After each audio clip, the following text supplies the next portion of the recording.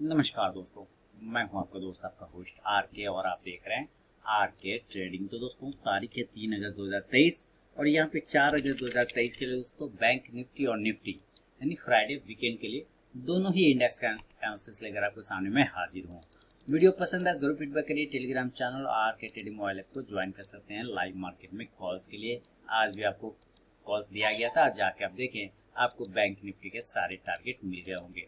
अब देखिए, bank Nifty ने जो आज का लो लगाया है, ये है बहुत ही खतरनाक लो चौवालीस हज़ार दो सौ अस्सी। ओह माई गॉड गजब गजब गजब। है ना? तो चौवालीस हज़ार, और ये इस लेवल पर आने के बाद मैंने आपको कहा था कि अगर आपको ये चौवालीस हज़ार दो सौ, चौवालीस हज़ार तीन सौ पे अगर आपको मिलता है तो बाइंग का पोजीशन तो बनाना ही बनाना चाहिए। और वहाँ से ये क्लोजिंग किया चौवालीस पाँच सौ तेरह पर। तो क्लोजिंग ठीक है क्लोजिंग खराब नहीं कहूँगा। रीजन इसलिए नहीं खराब है क्लोजिंग गिरावट के अनुसार देखे, गिरावट के अनुसार देखें तो क्लोजिंग मैं मान के चल रहा हूँ ये ठीक ठाक कर दिया है। कैसे? आप यहाँ पे समझिए कि यहाँ पे ये रेजिस्टेंस एरिया था और ये रेजिस्टेंस एरिया था, उसके बाद इसको उसने सपोर्ट बनाया। इस सपोर्ट को बना के इसने क्लेम किया रिक्लेम करने के बाद वापस से ऊपर गया और इसी सपोर्ट पर आके क्लोजिंग कर गया। अब इसका ऊपरी हिस्सा अगर आप रजिस्टेंस का देखें तो चौवालीस हज़ार पाँच सौ के आसपास, पाँच सौ दस के आसपास आता है और क्लोजिंग आज आप देख रहे हैं चौवालीस पाँच सौ तेरह का बना रखा है। तो क्लोजिंग तो ठीक है भाई। क्लोजिंग में खराबी नहीं है, इतना गिरावट के बाद भी। लेकिन कल क्या ये बाउंस करेगा? कल क्या ये ऊपर के साइड भागेगा? तो इसका इसका सवाल का जवाब हम लोग लेने की कोशिश यहाँ पे करेंगे। तो देखिए, ज़रूर कोशिश तो कर सकता है। इसमें तो दो राय नहीं है। कोशिश तो आज भी किया था, बेचारा सस्टेन नहीं कर पाया था। और चौवालीस पाँच सौ फिर ऊपर पैंतालीस पाँच सौ, पैंतालीस हज़ार जो है इसका हर्डल बन गया था, पैंतालीस हज़ार वाला। लेकिन कल भी कोशिश करेगा। याद रखिए, कल भी कोशिश करेगा। और हमें कोशिश अगर ये करता है तो आपको चौवालीस हज़ार छह सौ, ध्यान रखना है, चौवालीस हज़ार छह सौ के ऊपर, यानी इसके ऊपर आपको निकलते के साथ एक बाय का पोजीशन बन सकता है। इस लेवल के ऊपर अगर ये निकलता है तो एक बाइंग का सिचुएशन बन सकता है, जो कि आपको टारगेट ऊपर चौवालीस सात सौ से लेके, यहाँ पर ये एरिया देख रहे हैं, इस पॉइंट को पकड़िए, इस पॉइंट को। ये पॉइंट आपको मेन सपोर्ट का काम कर रहा था पहले, इसके नीचे आ गया तो ये रेजिस्टेंस का काम करेगा तो इस पर आप एक लाइन लगा लें। तो वो प्राइस आता है चौवालीस सात सौ पचास का। तो चौवालीस छह सौ के ऊपर निकलेगा तो चौवालीस सात सौ और चौवालीस सात सौ पचास। ये एक टारगेट आपको फौरी तौर पर तुरंत प्रभाव से देखने को मिलेगा। इसको ब्रेक करके ऊपर निकलेगा तो फिर आपको चौवालीस आठ सौ, जो कि आज अच्छा देर होल्ड भी कर रहा था, लेकिन फिर ब्रेक करके नीचे आ गया।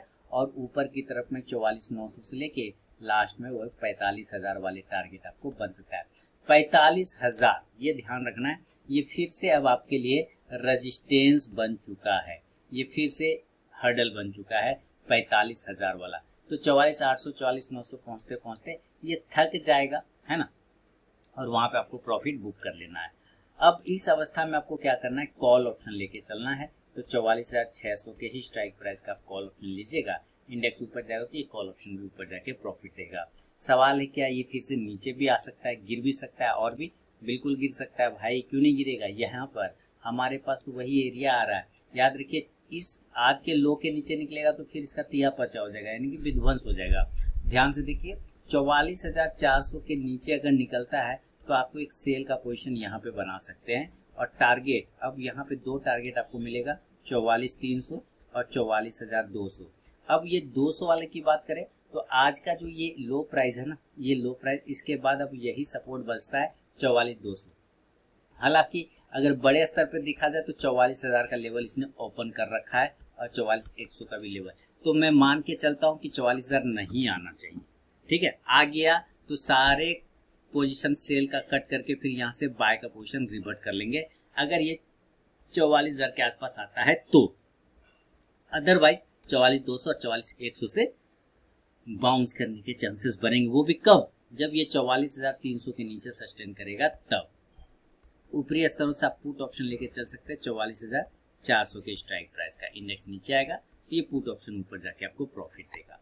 इन केस अगर ऐसा नहीं हुआ दोस्तों, और ये गैप अप खुल गया डायरेक्टली वही पैंतालीस हज़ार के लेवल पर खुल गया तो अभी हम लोगों ने बात ही कहा कि भाई, अब इसका पैंतालीस हज़ार ही रजिस्टेंस एरिया का मेन पार्ट बन गया।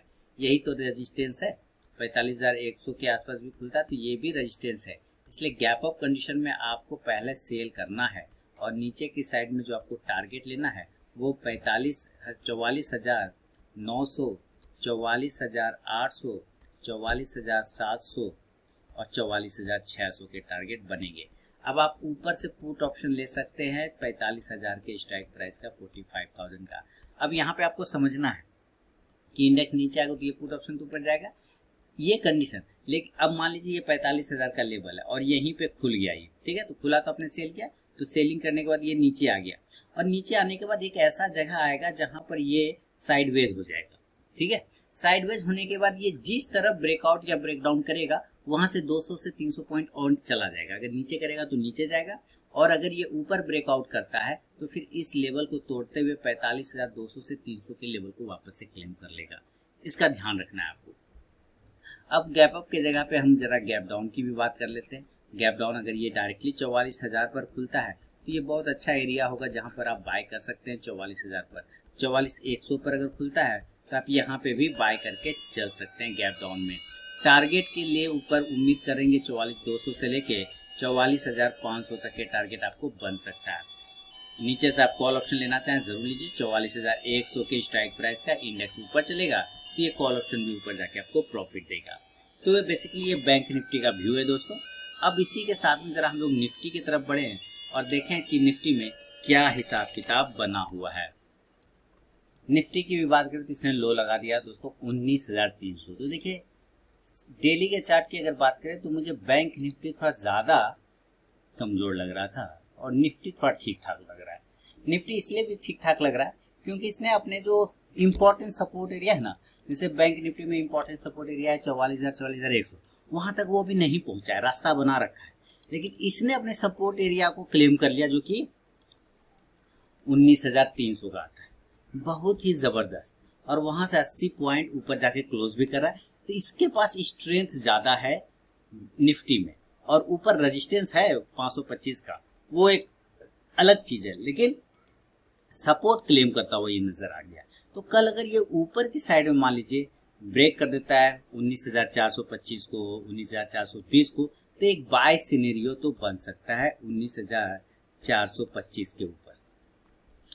टारगेट जो यहाँ से आपको लेके चलना होगा वो 19,450 उन्नीस हज़ार चार सौ पचहत्तर और उन्नीस हज़ार पाँच सौ। अभी मैंने यही बात बताया कि उन्नीस पाँच सौ पर इसका हर्डल तो है ही, है ना? ये पॉइंट ये एरिया हर्डल पॉइंट है। तो आप ज़्यादा से ज़्यादा उन्नीस पाँच सौ पच्चीस तक का एक उम्मीद करके चल सकते हैं यहाँ पर। देखिए शॉर्ट बने हुए तो अगर शॉर्ट कवरिंग आएगा तो बहुत फास्ट मूव आएगा। इस बात को भी ध्यान रखना है। कॉल ऑप्शन आपको लेना है तो कॉल ऑप्शन आप उन्नीस हज़ार चार सौ के स्ट्राइक प्राइस का भी ले सकते हैं और उन्नीस चार सौ पचास का भी ले सकते हैं, कोई दिक्कत नहीं। इंडेक्स ऊपर चलेगा तो ये कॉल ऑप्शन भी ऊपर जाके आपको प्रॉफिट देगा। इनकेस ऐसा नहीं हो कि ये नीचे की तरफ़ में गिरता है, तब आप ज़ाहिर सी बात है सेल साइड जानना चाहेंगे। तो सेल का जो लेवल है, उन्नीस हज़ार तीन सौ पचास, ये पहला लेवल है जहाँ पर आपको सेल करना चाहिए। और उन्नीस हज़ार तीन सौ ये दूसरा लेवल है, जिसके नीचे ज़्यादा मात्रा में सेल करना चाहिए, क्योंकि उन्नीस हज़ार तीन सौ ही यहाँ पे एक सपोर्ट का काम कर रहा है। उन्नीस तीन सौ के नीचे और भी बड़ा रास्ता खोलेगा नीचे के लिए, जिसका टारगेट उन्नीस दो सौ पचहत्तर से लेके 19,225 तक का टारगेट आपको बन सकता है। पुट ऑप्शन ठीक है ना? पुट ऑप्शन आप लेना चाहें 19,350 और 19,300 ये दो स्ट्राइक प्राइस का पुट ऑप्शन लेके चल सकते हैं। इंडेक्स नीचे आएगा तो ये पुट ऑप्शन ऊपर जाके आपको प्रॉफिट देगा। इन केस अगर ये गैप अप और गैप डाउन हो गया तब यहाँ पर आपको समझना है कि अगर ये गैप अप होता है तो 200, 300, 250 पॉइंट इससे ज़्यादा नहीं होगा गैप अप तो मैं मान के चलता हूँ कि ये उन्नीस हज़ार 550 ये एरिया है जहाँ पे ये गैप अप हो सकता है। एक तो वो एरिया हो गया दूसरा 19,525 लेकिन इस दोनों में से किसी पे भी होगा तो आपको पता है ये तो अभी फ़िलहाल हमारे लिए रेजिस्टेंस है। तो पहला अटेम्प्ट में तो आप लोग सेल करेंगे क्योंकि वहाँ पे बहुत सारे लोग डरे हुए भी होते जो सेल करते हैं। तो टारगेट आप 19,500 से लेकर 19,400 तक का एक टारगेट आप ले सकते हैं।